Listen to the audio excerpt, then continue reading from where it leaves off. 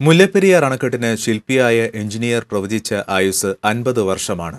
ആ അണക്കെട്ടാണ് നൂറ്റി ഇരുപത് വർഷത്തിലെത്തി നിൽക്കുന്നത്.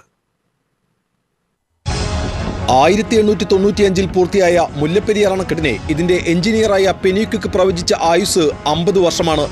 ആ ഡാമാണ് നൂറ്റി ഇരുപത് വർഷം പിന്നിടുന്നത്. മണലും ഇഷ്ടികപ്പൊടിയും ചുണ്ണാമ്പും കരിങ്കല്ലും ചേർത്ത് നിർമ്മിച്ച ഡാമിന്റെ മുകൾ ഭാഗത്തെ വീതി മൂന്ന് ദശാംശം ആറ് ആറ് മീറ്റർ മാത്രം. അടിത്തറ നിർമ്മാണത്തിന് മികച്ച സാങ്കേതിക വിദ്യകളൊന്നും ഉപയോഗിച്ചിട്ടില്ല.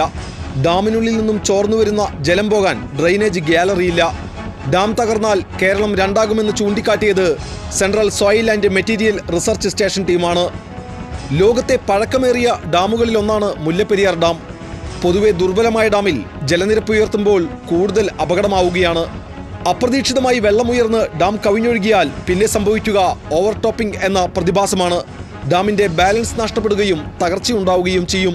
ആണവ ദുരന്തത്തെക്കാൾ ഭീകരമായിരിക്കും അത്. ഭൂകമ്പ സാധ്യതാ പ്രദേശത്താണ് ഡാം സ്ഥിതി ചെയ്യുന്നത് എന്നതും ഭയക്കേണ്ടതാണ്.